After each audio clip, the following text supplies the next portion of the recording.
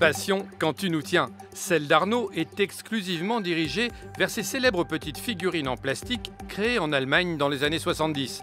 Vous avez deviné? En haut de cet escalier, une caverne d'Ali Baba. Une usine à rêve.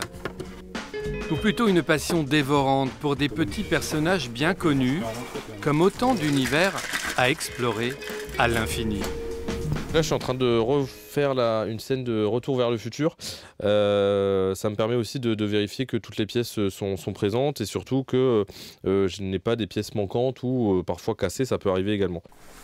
Arnaud est tombé dedans quand il était tout petit. Difficile de dire aujourd'hui combien de figurines, combien de décors il possède. Mais une chose est sûre, du Playmobil il aime tout, du tout petit au très grand. La figurine de base, la figurine Playmobil fait 7,5 cm et là on est sur des figurines de 60 cm. Il existe de plus en plus de versions. Chaque année, euh, Playmobil ressort des, des versions différentes. Euh, Il y a le jardinier, il y a la jardinière, il y a un nain, il y a un Père Noël, il y a princesse, il y a chevalier, il y a des pirates. Il y a plein de, plein de variétés euh, différentes qui commencent à, à sortir. Dénicher la pièce manquante. Salut Kevin Chez Kevin par exemple, c'est le rêve de tout collectionneur.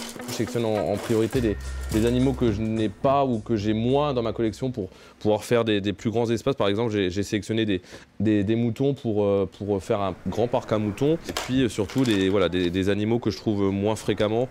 Euh, là, par exemple, on a un héron, un lémurien, une cigogne, un renard, etc. Il y a encore des pièces que, je, que je n'ai pas. Et puis là, j'avais pas vu, mais il y a ce véhicule-là. Il y a ce véhicule-là qui me paraît pas mal et que je n'ai pas non plus.